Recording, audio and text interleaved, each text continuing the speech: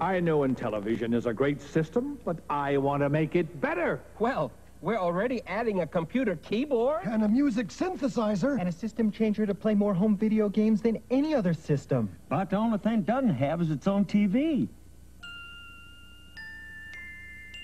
Buy any Intellivision master component, and Mattel Electronics will send you this 13-inch color TV for only $75.